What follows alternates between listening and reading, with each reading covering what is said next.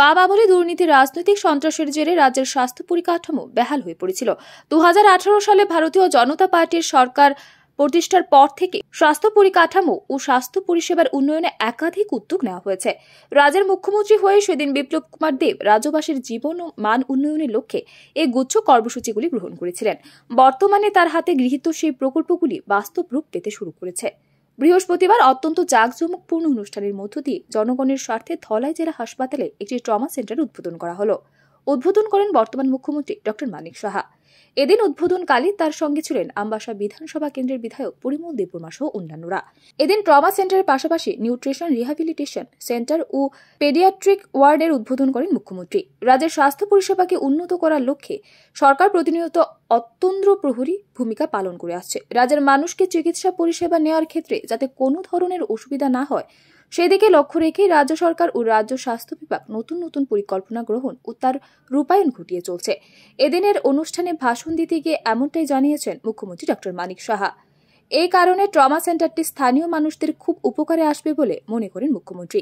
এদিনের অনুষ্ঠানের শেষে সাংবাদিকদের মুখোমুখি হয়ে রাজ্যের স্বাস্থ্য পরিকাঠামোর উন্নয়নে কেন্দ্র ও রাজ্য সরকারের পরিকল্পনার কথা তুলে ধরেন। আপনারা জানেন তো, স্বাস্থ্যই ভেরি ইম্পর্টেন্ট ফর আস আমাদের প্রায়োরিটি সেক্টরের মধ্যে একটা হেলথ সেক্টর তো সেইভাবে আমরা কিছুদিন আগেও আমি দিল্লিতে গিয়ে আমাদের ইউনিয়ন হেলথ মিনিস্টারের সাথে কথা বলেছি এবং যা যা চেয়েছি তিনি সবকটাই আমাদের দিতে রাজি হয়েছে আপনারা শুনেছেন এর মধ্যে একটা ডেন্টাল কলেজের বিষয়েও আমি বলেছিলাম করার জন্য। সেটাও প্রায় আমরা হয়তো আজকের মধ্যে আমরা পাঠাবো এখানে। কালকেও আজকেই আমাকে ফোন করেছিল দিল্লির থেকে যে কাগজপত্র একটু ডিলে হচ্ছে কেন? আমি আজকে আধিকারিকদের বলেছি যেন কাগজটা যায় তো সব দিক দিয়ে আমাদের ওয়েলনেস সেন্টার থেকে আরম্ভ করে তো আজকে তো আমি এর আগেও আমি এসে এখানে এসেছিলাম আমার সাথে ডিস্ট্রিক্ট মানে ডিস্ট্রিক্ট হসপিটালে দলায় তো আগে যেরকম ছিল এর থেকে দেখলাম অনেক বেশি পরিমাণে এখানে অনেক বেশি ডেভেলপ হয়েছে।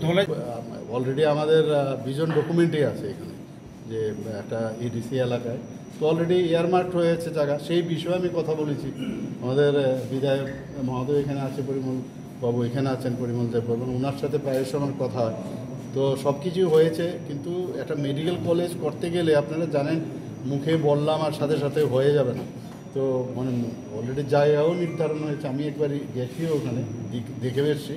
তো নিশ্চয়ই আমরা করব, এটা আমাদের কমিটমেন্ট তো সব দিক দিয়ে আজকে এখানে খুব ভালো লাগছে যে ধলাই ডিস্ট্রিক্টে একটা ট্রমা, কেয়ার সেন্টার হওয়াটা এটা কত আমাদের বহুদিনের পুরনো এখানকার এলাকাবাসীদের একটা দাবি ছিল, সেটা হয়েছে আজকে পেডিয়াট্রিক কোভিডের যে ইউনিট এখানে খোলা হলো।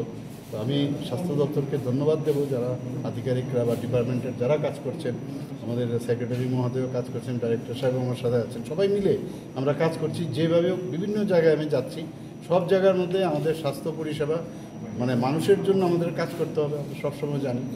বহুদিন ধরে ধলাই জেলার মানুষ এমন একটি পরিষেবার দাবি জানিয়ে আসছিলেন। বাম আমলে সে স্বপ্ন পূরণ না হলেও বর্তমান বিজেপি সরকারের আমলে পূরণ হলো বহু প্রতীক্ষিত সে স্বপ্ন। এ কারণে খুশির জোয়ার গোটা ধলাই জেলার জুড়ে। ভিডিও রিপোর্ট রাইজেশ নিউজ।